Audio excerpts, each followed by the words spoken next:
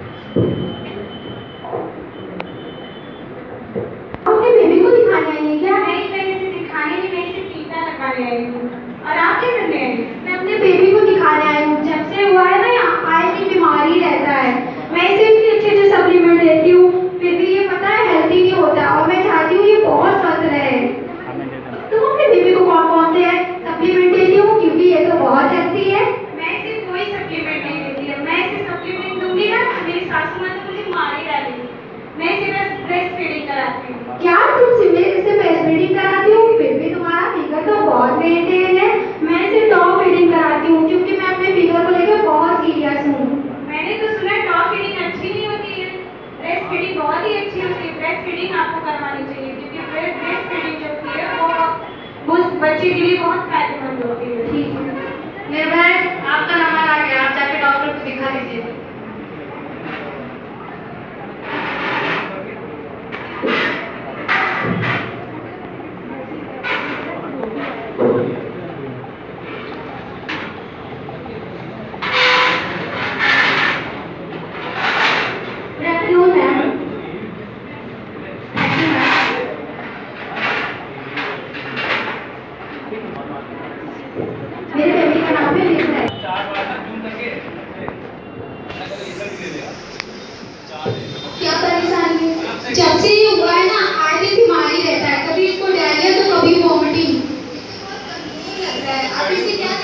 मैं इसे ना बहुत अच्छे अच्छे ब्रांड के सप्लीमेंट लेती हूँ और टॉप फिटिंग कराती हूँ कि ये स्वस्थ हो जाए। फिर भी ये स्वस्थ ही नहीं है। अच्छा आपका बेबी टू मंथ था आप इसे अच्छे अच्छे ब्रांड के सप्लीमेंट देती हैं? आप इसे ब्रेस्ट फीडिंग क्यों नहीं कराती? क्योंकि मैं अपने फिगर को लेके बहुत सीरियस हूँ सात से पाँच बजे तक तो मैं ऑफ़िस में ही रहती हूँ। ऐसे में इसे मैं ब्रेस्ट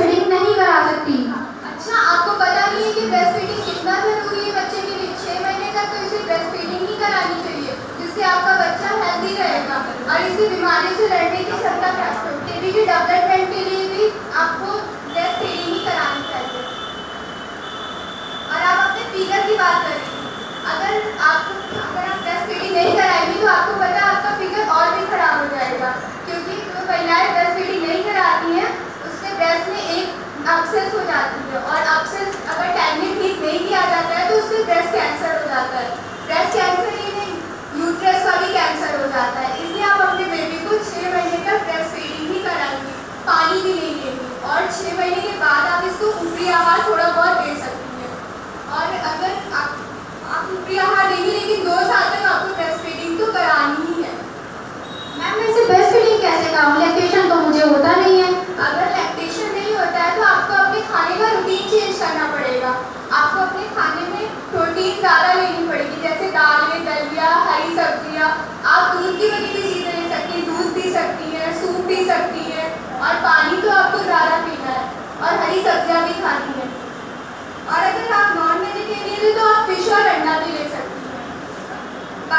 आपको वहाँ पर एक सिस्टर है वो आपको ब्रेस्ट फीडिंग के बारे में कुछ बता थैंक यू मैम नमस्ते आइए बैठो। क्या परेशानी है आपको?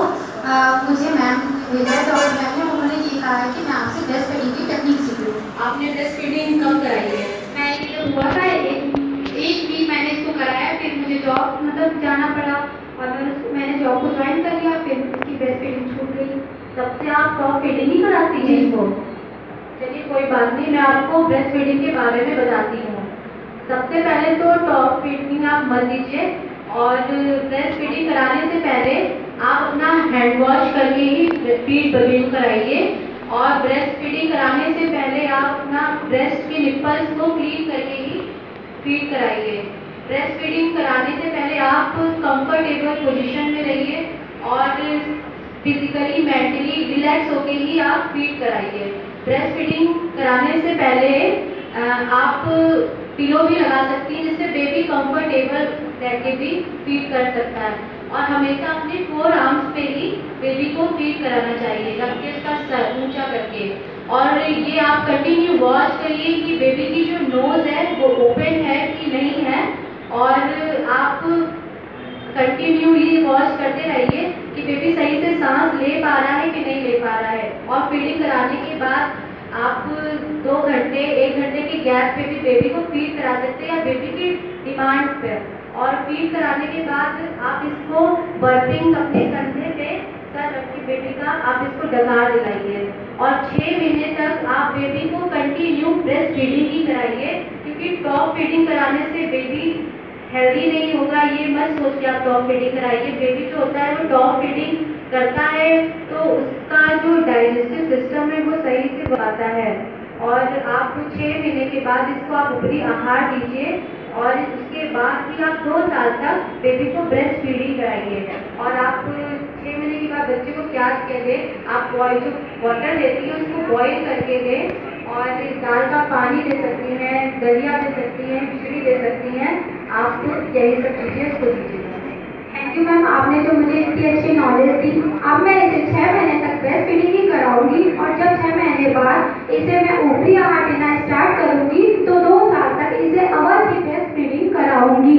और मैं इसी के लिए तो पैसे कमाती हूँ, यही मेरी सबसे बड़ी दौलत है। मुझे जॉब से ज़्यादा इस पर कॉन्सेंट्रेट करना चाहिए था।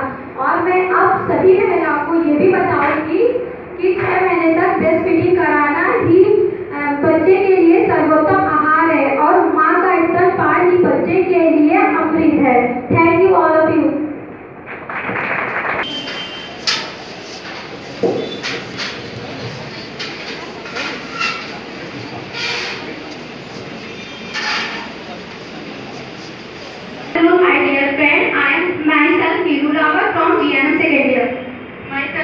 from 0 to 90. Such as Shali Shukla from GNM second year. Myself Shweta Mishra from GNM third year. Myself Mandri Tripathi JNM first year. Myself Praveen from JNM first year.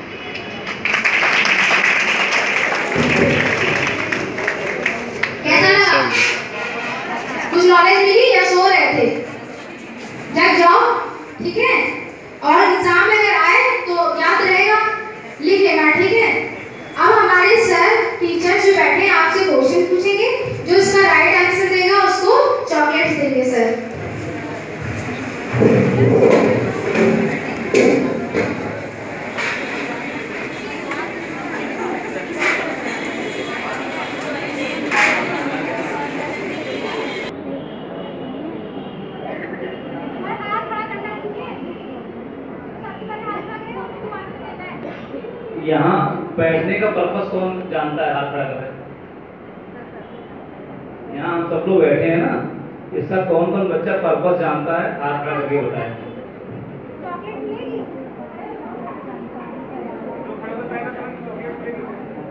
है बताए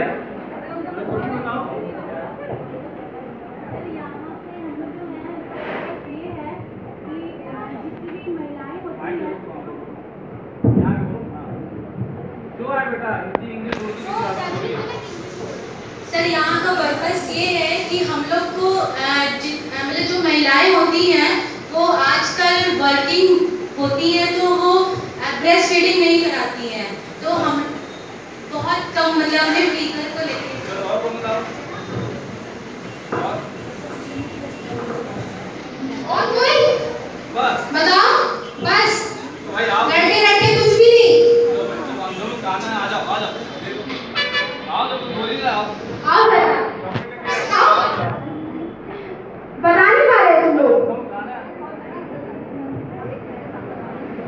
देखिए बेटा पर्पस क्या है।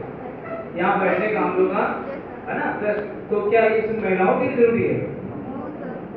पुरुष शादी नहीं करता वो किसी का बच्चा नहीं होता। ये हम सबके लिए। ये तो आप हम माध्यम है। हमको उसका संचार करना है। है ना? जो ठीक? अच्छा आप कौन कौन जानता है कि ये कौन सा वीक चल रहा है?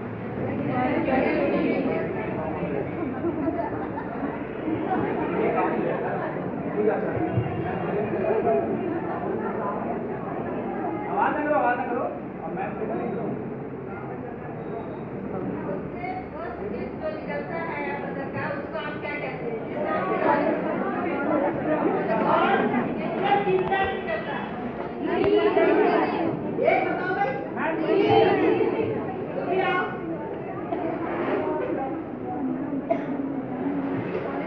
तो तीन दिन तक निकलता है, उसको कोलेस्ट्रॉल कहते हैं कि फ़र्स्ट टू थर्ड डेज़ तक ही निकलता है।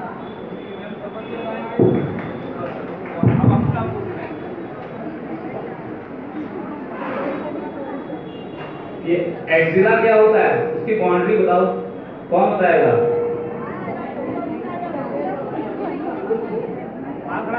इसको आता हो। एक्सिला की boundary axilla axilla A X I double L A first year में है एक्सिला एक्सीलेंट नहीं पता है। बगल और बताओ। डालकर बतानी से पढ़ाए होंगे। हाथ खड़ा करो आ जाओ यहाँ आ जाओ।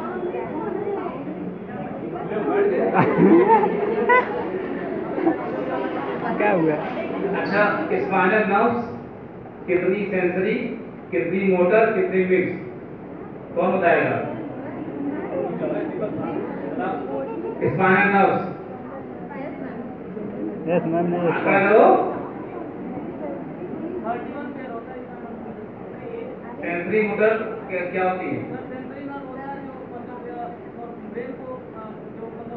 आपने पूछा स्पाइनल नर्व्स में कितनी सेंसरी कितनी मोटर कितनी मिक्स सबका अलग अलग बताना है। अलग अलग। और कोई है बताने के लिए। कार्डियक जो छोटा गाड़ी है। है, अभी अभी कहाँ है? रोबिन नहीं आया आए ज़रूरी आए रोबिन खड़े हो। रोबिन दाने बताओ नहीं मालूम। अच्छा बच्चे में कौन सा प्रोट्यूबरेंस होता है उसका नाम क्या है? हम सब में होता है, जब हम पैदा होते हैं तो एक ऐसी फंटली होती है, जो ओवरी होती है, और बाद में अपने आप बंद हो जाती है, उसका नाम बताइए।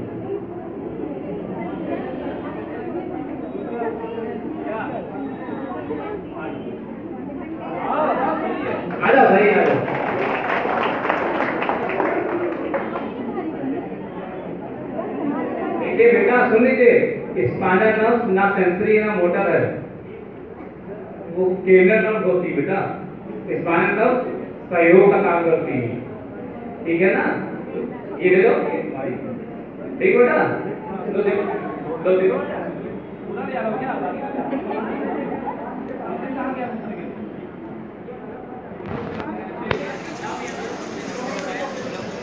क्या डॉक्टर सबसे कॉमन सबसे कॉमन सबसे छोटी मसल्स कौन सी होती है बॉडी में अरे लो, लो, लो, लो। इनामनेड बोन कहाँ होती है, कितनी होती है, और उसमें कौन सा अटैचमेंट होता है, कौन बताएगा? हाथ खड़ा करो, फटाफट। एक, दो, तीन, चार, पाँच, छ, सात, आठ, नौ, दस। टाइम इज़ ओवर इन बोन का दूसरा नाम है हिप बोन वो हमारे शरीर में, दो होती हैं, उसमें फीमर का अटैचमेंट होता है, उसको क्या बोलते हैं? वॉल जगह जॉइंट ठीक? चलिए अच्छा नहीं कुछ और पूछा है नहीं पूछे हैं? तो बता कहाँ रहे बेटा, हम तो पूछ रहे हैं। हैं? कुछ और पूछे? थर्ड वाले क्या पूछे हैं? बताओ रोहित हैं? क्या पूछे? क्या पूछे? क्या पूछे? अच्छा हेपेटाइटिस का बोला हुआ था ना? तो हेपेटाइटिस सी के बारे में बताओ, किसको मालूम है? हाथ लगा लो।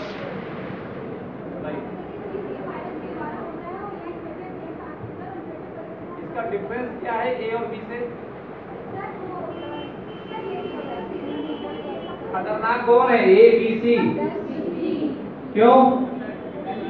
हाँ।